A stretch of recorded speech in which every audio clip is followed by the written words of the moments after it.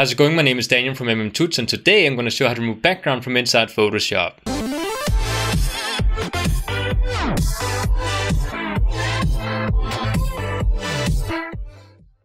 So as you can see in front of me I do already have a photo open inside Photoshop. And the first thing we need to decide is what kind of background we're dealing with. Because right now, as you can actually see, I'm not using a white background. I'm actually using a kind of grayish color, which is going to be much harder to remove than a white background. So I just want to do this because I want to prove to you that my method is going to take care of the background, even if it's not completely white. Now, I do also want to mention that if you want the project file for this episode or any future episodes, then you can find them on my Patreon, which I'm going to link to in the description of this video here. So go and check that out if you want this episode's uh, lesson files. Now, the way we're going to remove the background from this photo here is by choosing the difference in lighting and in color inside the photo. So what we're going to do first is we're going to go inside the channels tab that we have right next to the layers. And inside the channels tab, you can see we have a couple of different layers going on. We have an RGB layer, we have a red layer, a green layer, and a blue layer. So what we want to do is we want to choose the one that has the highest difference in lighting inside the photo. And then we want to duplicate that specific layer. So right now you can see that I do actually think that blue has the highest one in difference. It's definitely not going to be red. Uh, so we're going to take blue and I'm going to duplicate it. After duplicating it, I can make changes to this layer without affecting the actual photo. So I'm going to say we want to click Control L or Command L if you're on Mac. And then you can see we can adjust the levels in order to even more increase the difference in colors, or sorry, not in colors, but in lighting inside this photo here.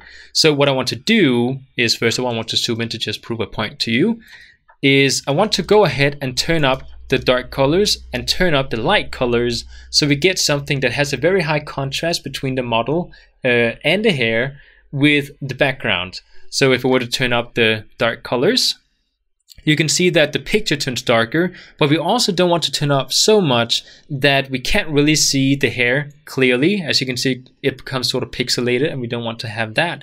So I want to make sure that we can still see the hair in the correct way without it becoming too much of a dark color. The same thing goes for the light color if I want to turn this one up.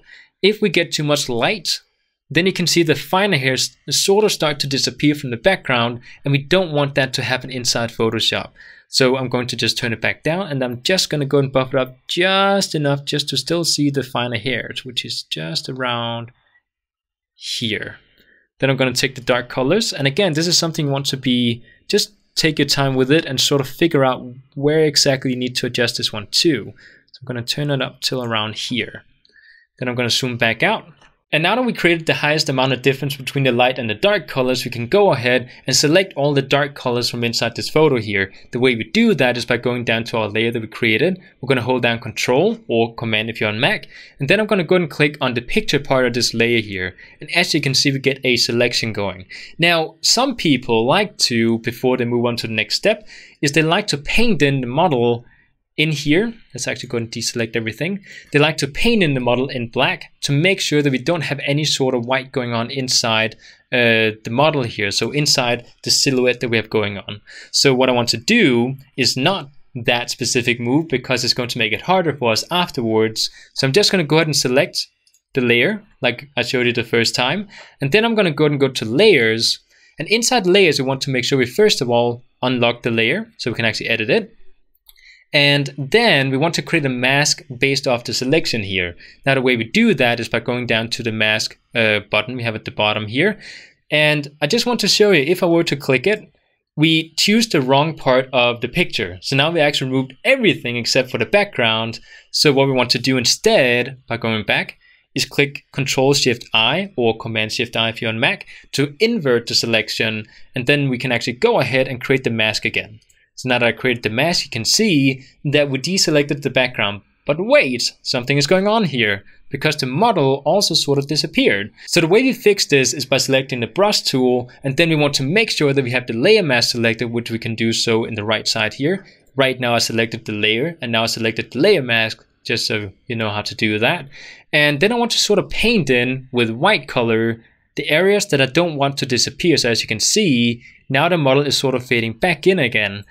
But this is not really the best way to look at it because I can't really tell in between the hairs what part is transparent and which one is not. So I'm going to hold down Alt and then click on the layer mask we have over on the side here. And now you can see we get a black and white, um, what do you call it, a view of this specific picture here. So now we can actually start filling in uh, the model or in, uh, what do you call inside the silhouette of the model. And we can also see that the background over here is actually not completely disappeared yet, which is also a problem.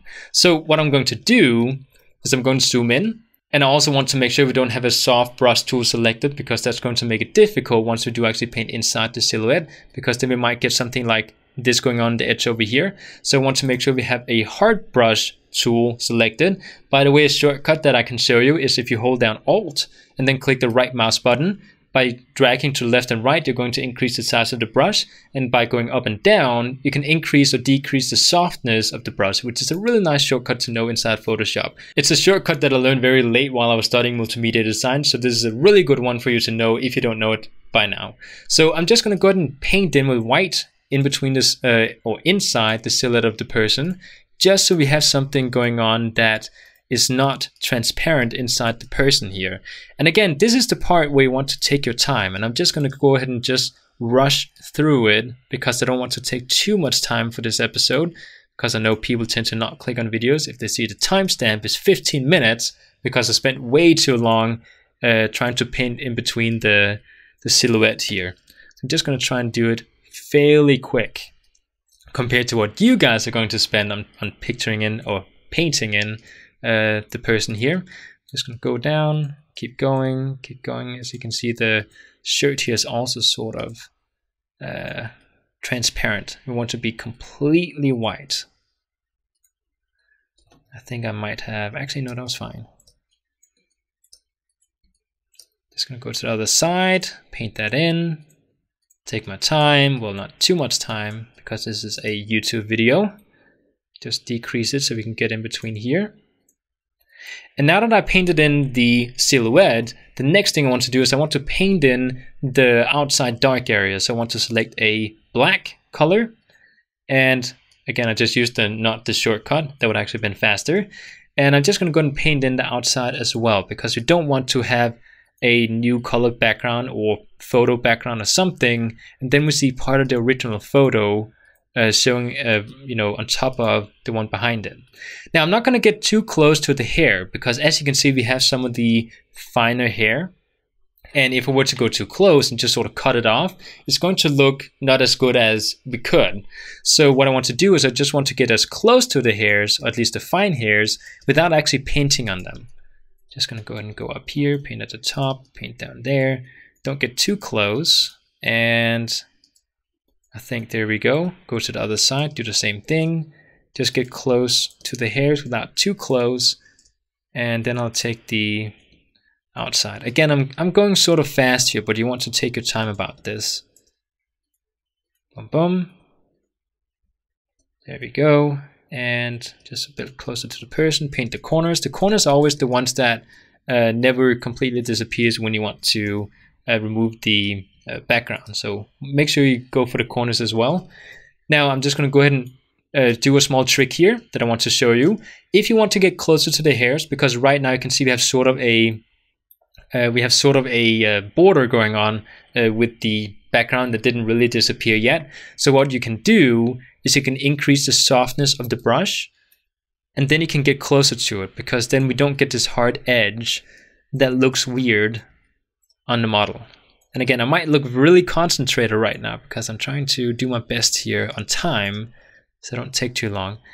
I joked around with saying that this episode will probably be 15 minutes and people are not going to click on it, but it's probably still going to end up 15 minutes, which I hope it's not going to be. Because, like I said, then people don't want to watch this episode.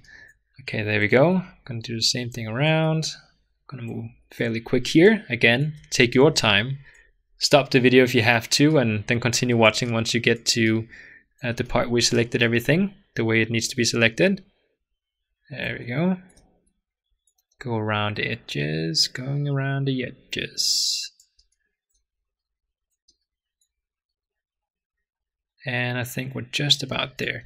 Again, I'm sort of painting a little bit into the white silhouette part by mistake because I'm being quick about it. And there we go. So now that we did this, we can actually go ahead. I think I might have missed a spot down here at the bottom. Or is it my screen? It might just be my monitor. and sometimes it tricks you. So now that we have the silhouette uh, selected, we can go back into uh, the original photo by holding down Alt again and clicking on the mask we have inside the layers panel. As you can see, we have the model showing inside our Photoshop software. So now what I'm going to do is I'm going to create a new layer, move to the bottom, and I'm just going to go and choose some kind of color, like we can choose a green color, fill in the background, and as you can see, we now have the background removed, and we can in, uh, include our own background into the photo and have something else showing instead. So this is how you remove background from a model inside Photoshop fairly quickly.